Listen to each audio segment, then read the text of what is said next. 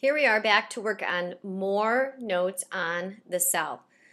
Section 7-2 is going to be divided into two parts to make it easier for you to take the notes. We're talking about the structure of the eukaryotic cell. If you remember from the previous section, a eukaryotic cell is a cell that contains a nucleus. So, we're going to learn about the parts and pieces to the cell and what the function of the parts and pieces are. Along the way, I'll be doing some comparison, so you may want to jot those down within your notes so it will make it easier for you to do some of the upcoming work. Comparing the cell to a factory. Organelles are little organs which carry out specialized functions within a cell.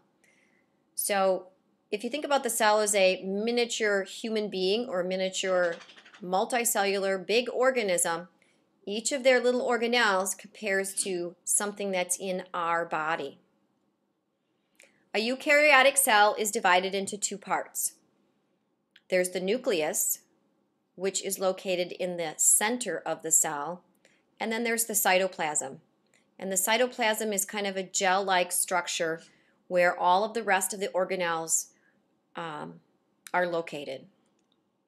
So the cytoplasm is the portion of the cell outside of the nucleus.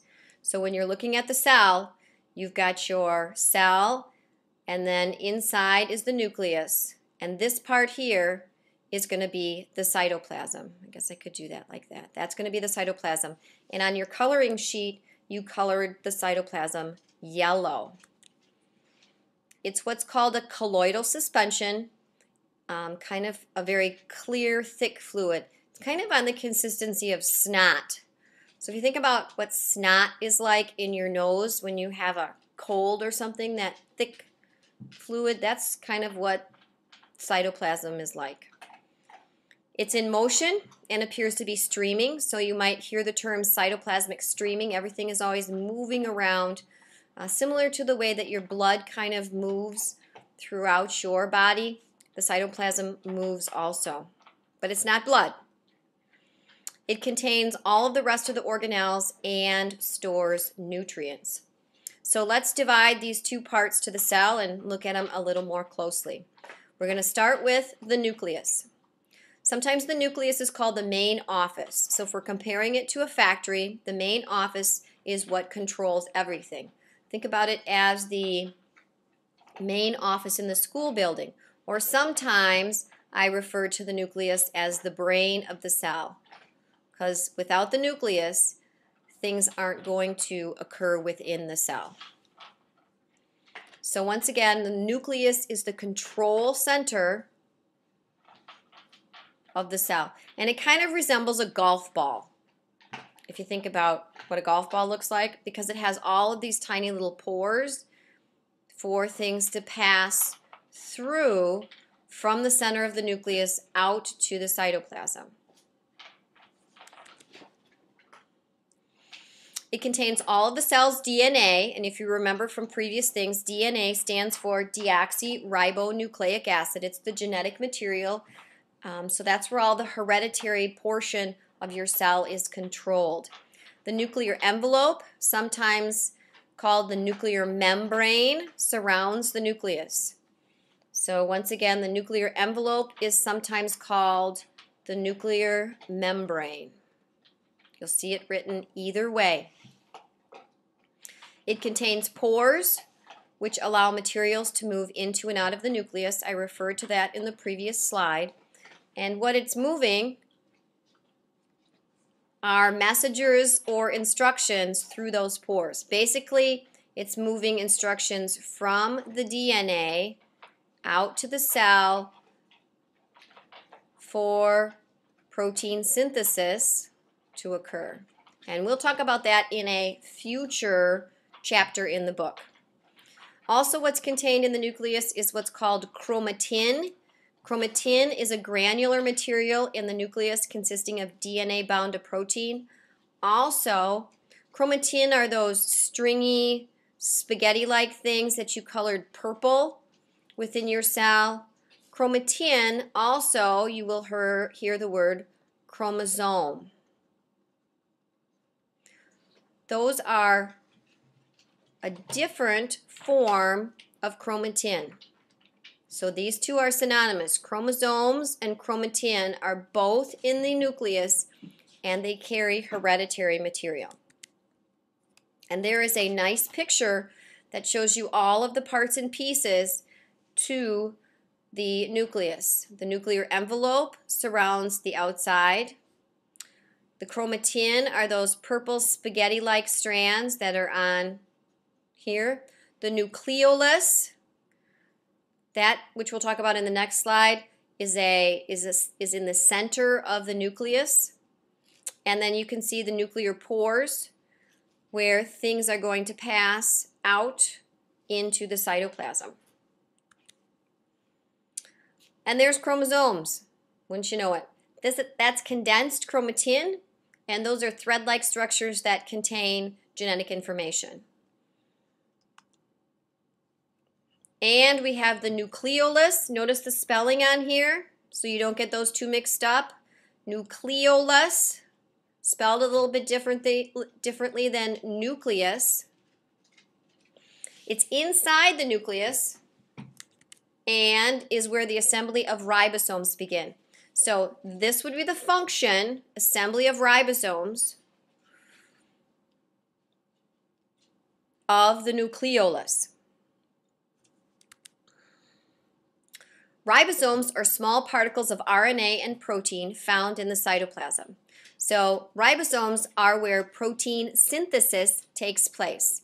Protein synthesis means the constructing of a protein molecule, which we're going to talk about later. But you need to know that the function of the ribosomes is where protein synthesis is going to take place. Once again, proteins are assembled on the ribosomes. And those were all those tiny little red dots that I made you color on that cell coloring sheet. They are scattered in the cytoplasm or they're on the endoplasmic reticulum. And we abbreviate endoplasmic reticulum ER. So once again, they're scattered in the cytoplasm or they're on the endoplasmic reticulum. So each ribosome is like a small machine that makes protein on orders that come from its boss, the nucleus. So the nucleus sends stuff out into the cytoplasm to the DNA, to the ribosomes, and tells the ribosomes what kind of proteins to make. The endoplasmic reticulum. The endoplasmic reticulum, and I would prefer that you just abbreviate it by using ER. It's an internal membrane brain system or a subway system throughout the cell. So it gives things an opportunity to transport, think about the subway, the underground subway in New York City, how things can move through from point A to point B. Lipid components are assembled and then exported from the cell. And remember, lipid are fats. Exported means to leave. Kind of remember some of those vocabulary words. There are two types of endoplasmic reticulum. There's the rough rough, oops, we'll go back. The rough endoplasmic reticulum. Rough endoplasmic reticulum has ribosomes attached on its surface, so that means it's bumpy. Bump, B-U-M-P, bump. Is that right? I'm not a good speller. So it's bumpy, as you can see. Smooth endoplasmic reticulum contains enzymes that help synthesize. Once again, synthesize means to make lipids, which are fats, and detoxify drugs. There are no ribosomes on smooth ER. Now, where would you think that you would find a smooth, a lot of smooth ER in your particular body? Well, here's the key. Detoxify drugs the liver. Liver cells contain a very large amount of smooth ER because that's the job of your liver is to detoxify your body of bad things. So there's going to be a lot of smooth ER in your liver cells. All right, onward we go. The Golgi apparatus. Golgi is capitalized because it's named after the person who found this particular structure. So Golgi is always written with a capital G. The Golgi apparatus receives proteins produced in the rough ER. And remember, the rough ER has ribosomes on the surface, and ribosomes make protein. The Golgi apparatus looks like flattened sacks piled on one another. So sometimes you'll see it drawn like that.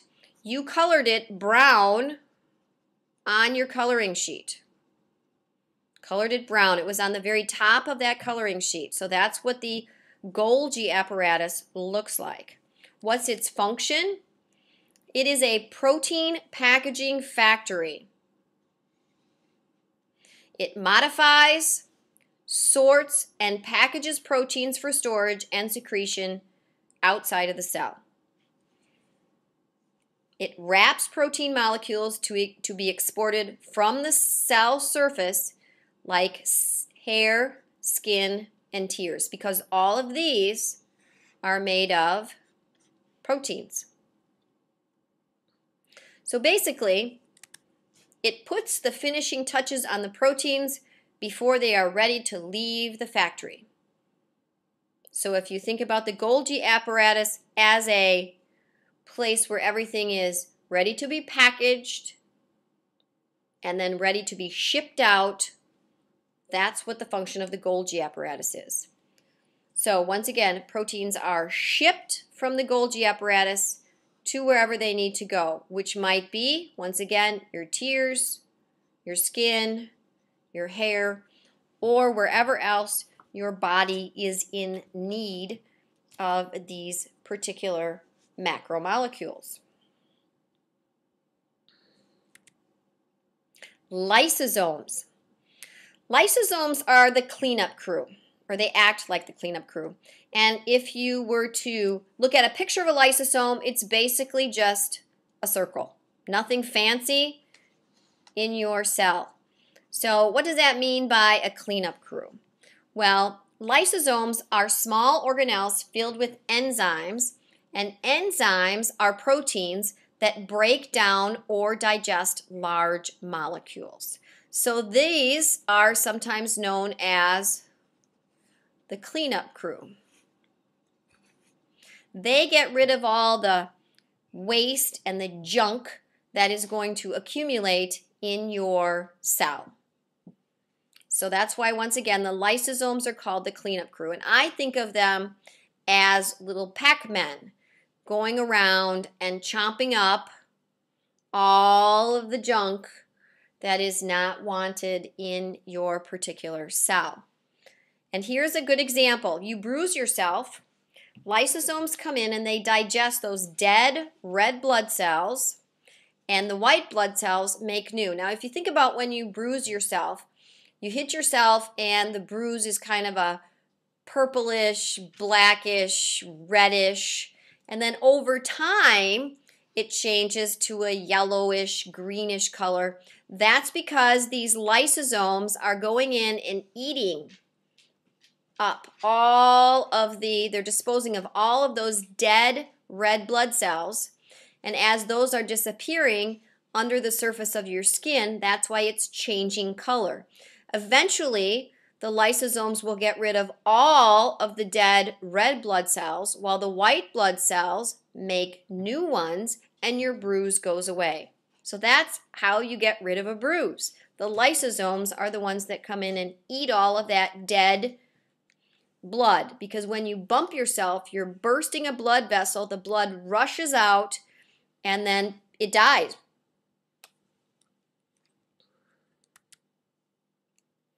And here would be an example. Lysosomes are also in single-celled animals, and they also clean up and digest a lot of the waste in single-celled animals. We're going to conclude this particular podcast with vacuoles. Vacuoles are sac-like structures that store materials such as water, salts, proteins, and carbs. And one thing that you have to remember about a vacuole is they're extremely small in an animal cell and they're very large in a plant cell. So in plant cells, there's a large single central vacuole filled with liquid. And if you remember from your coloring sheet, in the middle of that coloring sheet for the plant, you color that big blue structure. That would have been the vacuole. In your animal cell, it were they were very small things. Contractile vacuoles are found in single-celled organisms and their job is to pump excess water out of the cell. So, both plant and animal cells have vacuoles. The difference is their size and their function. This concludes the first half of 7 2 notes.